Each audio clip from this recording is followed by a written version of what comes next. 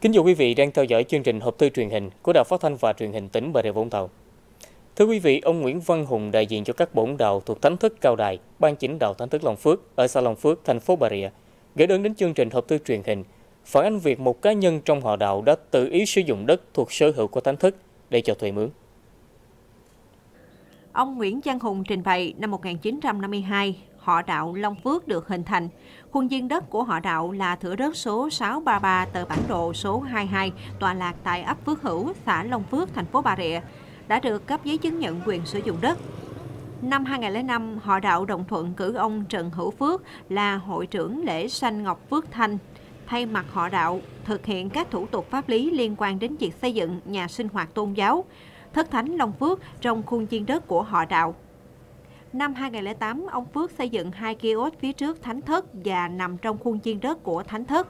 Sau đó, ông Phước cho gia đình con gái của mình đến ở và kinh doanh. Năm 2019, khi nhà nước thi công dự án mở rộng tỉnh lộ 52, hai kiosk này bị phá bỏ, nên gia đình con gái ông Phước xây dựng hai căn nhà kiên cố, một trệt một lầu, lùi sâu vào bên trong khuôn viên của thánh thất. Hiện hai căn nhà này đã hoàn thành, các con ông Phước đang sinh sống và kinh doanh. Ông Hùng cho biết thêm là ông Phước cũng tự ý cho một cá nhân thuê đất của họ đạo để kinh doanh với giá 600.000 đồng một tháng.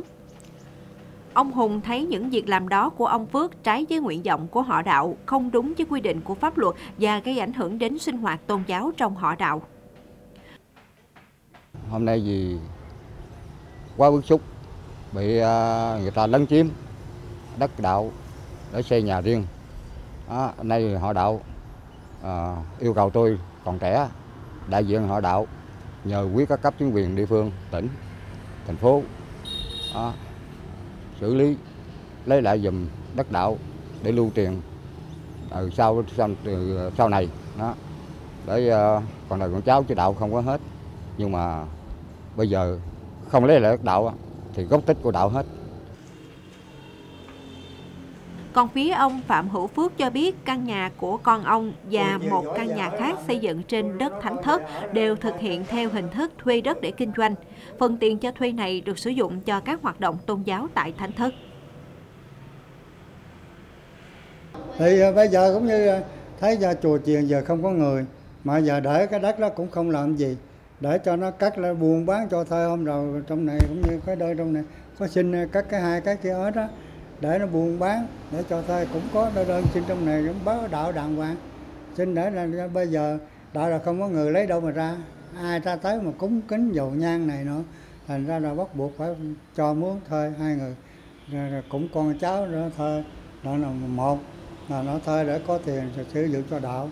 Hai nữa cũng có người để tới chùa chiền để phụ nhang khói. Vậy thôi chứ nó có gì đó bây giờ cho mướn vậy vậy cũng đưa giấy tờ cho mấy người đó coi nó giờ cho muốn một bên đó, là là 500 một bên là 600